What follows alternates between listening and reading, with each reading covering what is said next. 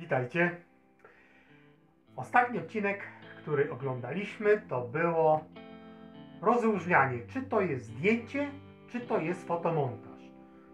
Mamy to już kolejny taki odcinek, mamy już w ogóle parę takich cykli, które robimy i to jest taki kolejny z tego typu właśnie, gdzie próbowaliśmy to odgadywać.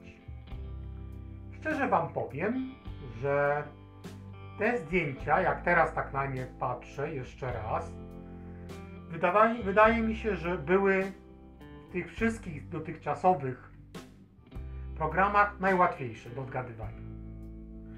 Zresztą widzieliście, obie Nastie, Jeremiasz, Przemo odgadli wszystko, wiedzieli, które to jest zdjęcie, które to jest fotomontaż. Natalia pomyliła się w jednym, na najgorzej wypadł kto? No, dziadek, dziadek wypadł najgorzej. No co zrobić? Czasami tak bywa, że, że człowiek się czymś zasugeruje i wydaje mu się, że to jest albo zdjęcie, albo fotomontaż, a później się okazuje, że niestety, ale tak nie jest. Zresztą nie zawsze człowiek wszystko musi wiedzieć. Nie ma ideału. Niestety. A może i dobrze, że nie ma ideału.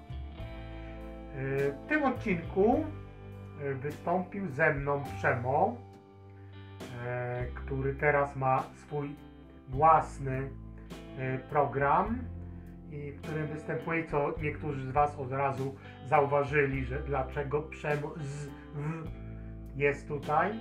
Jest, bo czasami z nami z powrotem wraca do starej ekipy i występuje.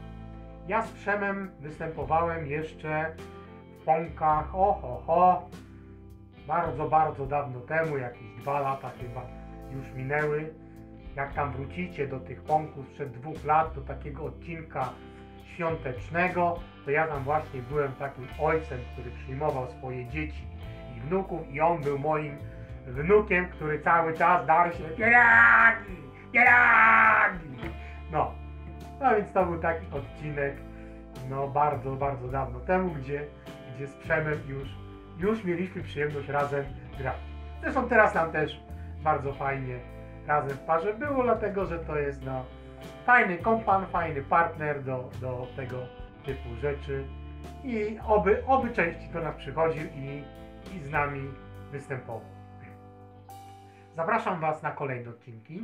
Mam nadzieję, że w tym odcinku wszyscy odgadliście tak jak dziewczyny, Nastie, wszystkie zdjęcia i fotomontaże, a ci, co się pomylili tak jak ja, to nie martwcie się. Czasami tak w życiu bywa.